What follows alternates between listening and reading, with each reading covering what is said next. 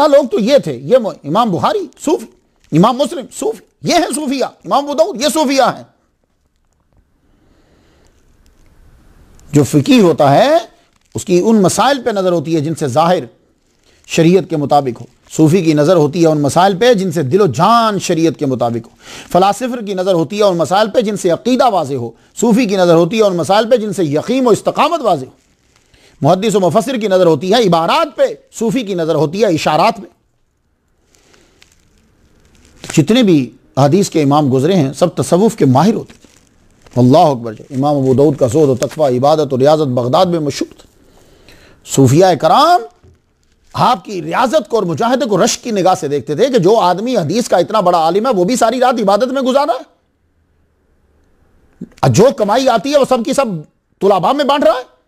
यही वजह कि उस दौर के बहुत बड़े सूफी बुज़ुर्ग वली कामिल, हज़रत साहल बिन अब्दुल्ला तुस्तरी रहमत आपको मिलने के लिए आपके मदरसा में तशरीफ़ लाए। अब ये हज़रत साहल बिन अब्दुल्ला तुस्तरी कौन है भाई? सुन लीजिए। मैंने इनको सरनामा कलम बना के गुफ्तु नहीं की। आप 2003 हिजरी में पैदा हुए। आप 203 हिजरी में पैदा हुए।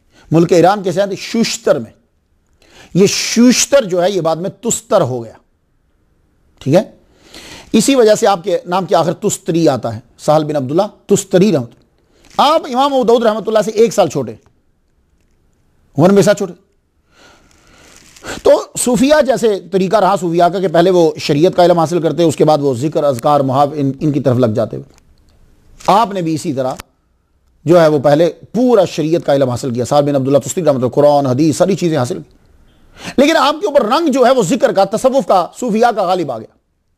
वो कैसे गालिब आया? एक दिन बचपन में आप तहजद में उठे, देखते हैं कि चचा इबादत कर रहे हैं और ज़िक्र कर रहे हैं। तो चचा के बाद जाएँगे चचा, ये आप क्या कर रहे हो? का वस्कुर रब्बी का बुकरा तम वासीला सूरा इंसान के अंदर है कि अल्लाह फरमाता है, सुबह शाम अपने रब के नाम का चर्चा करो। लोग कहते हैं, जी, ज़िक्र से मुराद यह कुरान पढ़ो। ना ये रब कह रहा है, वजकुर इसमा रब्बी का अपने रब के नाम का, इस मैंने नाम होता है, उसका चर्चा करो। तो ये जो अल्लाह अल्लाह अल्लाह, ला ये उसका नाम है। तो नाम का चर्चा करो। कहने लगे, चचा, मैं बैठ जाऊँ? कहा अभी बैठ जाओ? बैठ के ज़िक्र किया, बड़ा लुत्फ आया। कहने लगे, चचा, मेरा भी दिल करता है। तो कहने लगे, बेटे, अब तुझे मैं ज़िक्र बताता हूँ। वो ये है कि तू तहजद के वक्त जब उठे तो ज़ुबान से नहीं, दिल से तूने कहना है। अल्लाह देख रहा है, अल्लाह हर जगह है, अल्लाह मेरे साथ है। ये तूने दिल से कहना है, ज़ुबान से नहीं, ये जुमले अदा करने। आए हाय बस ये इब्तदा थी उसके बाद। आपने शरीयत पढ़ने के बाद फिर हज़रत जुनून मिसरी रहमत उनसे भी इलम हासिल किया।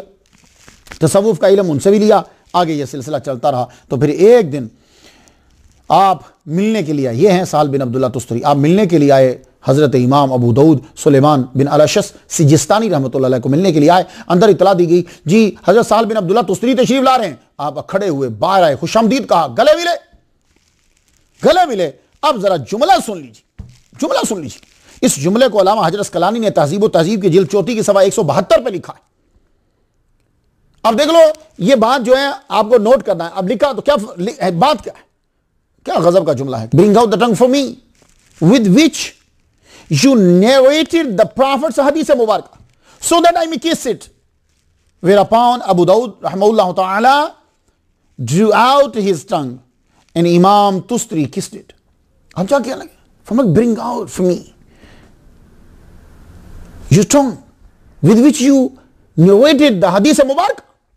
So that I may kiss it. मैं चूमना चाहता हूँ आपकी उस ज़ुबान को, जिस ज़ुबान से आप मेरे नबी मोहम्मद मुस्तफ़ा सल्लल्लाहु अलैहि वसल्लम की हदीसों को बयान करते हो। अल्लाह अकबर दोनों शरीयत के आलिम हैं। इमाम अहमद बिन हम्बल के टॉप के शगिर्द, जिनको पाँच लाख हदीसें याद हैं, और साहल बिन अब्दुल्ला तुस्तरी रहमा टॉप के सूफी, कि जो इनमें शरीयत के भी माहिर हैं, ये उनसे कह रहे हैं, मैं आपकी ज़ुबान चूमना चाहता हूँ। क्यों? इसलिए कि वो हदीसें बयान करते तो अब अगर चूमना शिरक है, ये अंगूठा चूमना शिरक है तो इसी तरह ज़ुबान भी तो बॉडी का हिस्सा है। लेकिन वो आइमा उस इमाम ने मना नहीं किया, इस इमाम का तकाजा है। पता चला दोनों ये जानते हैं कि नस्बत की वजह से चीज़ में एहतराम पैदा हो जाता है, चीज़ मुतबरक हो जाती है। अकीदा वो रखते तो नस्बत लफ्जों की हो या नस्बतों की नस्बत हो। तो अभी ज़ुबान जो है, ये लफ्जों की नस्बत है ना? अल्लाह अकबर जल्ला शाह